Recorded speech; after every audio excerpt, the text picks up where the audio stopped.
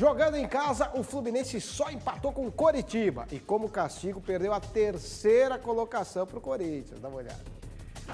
Em cobrança de escanteio, Elivelto abriu o placar para o time das Laranjeiras.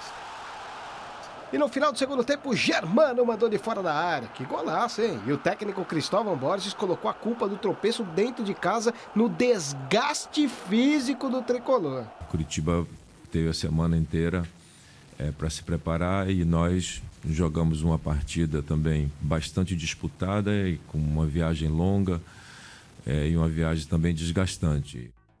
Calendário do futebol brasileiro é isso aí, Bruno. Sim, tem muita viagem.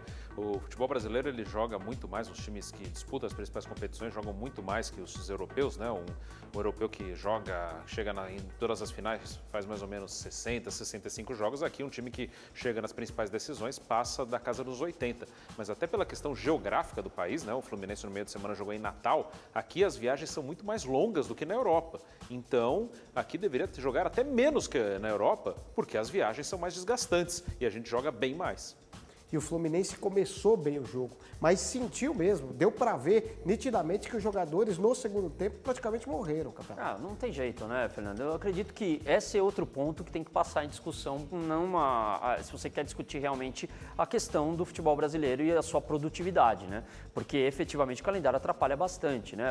Como o Bruno destacou, são quase 84 jogos se uma equipe fizer até o finzinho, né? Contra, por exemplo, 20 de equipes que disputam, por exemplo, apenas o campeonato estadual ou divisões inferiores, Série C ou Série D do Campeonato Brasileiro. Então, realmente a discussão precisa ser maior, até porque os clubes eles precisam ter datas. Os clubes brasileiros precisam se internacionalizar. A gente não pode continuar apenas olhando o mercado brasileiro.